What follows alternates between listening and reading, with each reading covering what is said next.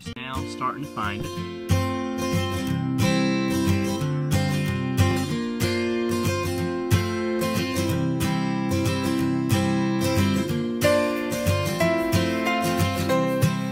Hello and welcome to the TV Art Tech channel. We've got a nice 70 degree Saturday here and the apiary is buzzing. What you're seeing here is bees packing in pollen substitute. A friend of ours who's a beekeeper feeds their bees, and we had a little bit, and uh, we got a little bit from him, and uh, they seem to really love it. So if you look close, you can see them stuffing it in their hindquarters, and uh, you can see it on their bodies and see them. Check it out. See it? Fairly impressed with the way they take it and uh, just going to show you some clips of it. They work it pretty good. Uh, I've been putting out about a cup a day at least uh, on these warm days like this and uh, they're really picking it up and taking it back to the hive. Also getting some activity. There's a couple of them that have some on their back legs. If you look closely at the legs on this bee, you can see that uh, she already has some back there and she's still packing it in. Hopefully this will do them good through the winter time. Try to zoom in closer here so that we can see some of them are just coated in pollen.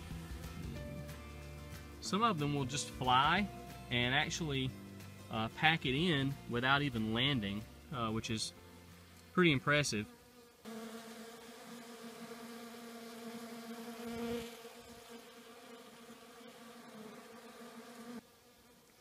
and then some will land and and pack it in.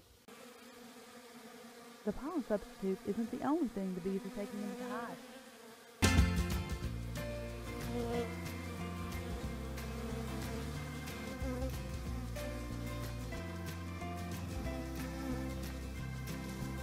This nuc here was a uh, late swarm, late July. Uh, they were only about uh, the size of my fist.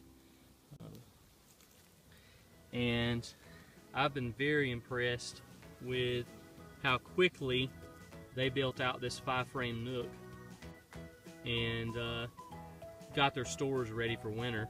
Uh, probably three and a half to four frames of this nuc is completely uh, filled with honey and capped off, uh, which for a small swarm like that was awesome.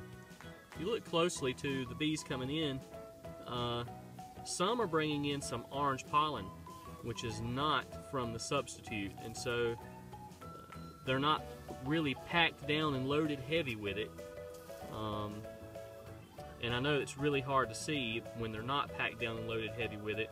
There's just a little bit of orange pollen on the back of their legs. I'm, I'm not sure what they're bringing in, but they have found uh, a pollen source somewhere uh, here in uh, late December to bring in some things into the hive.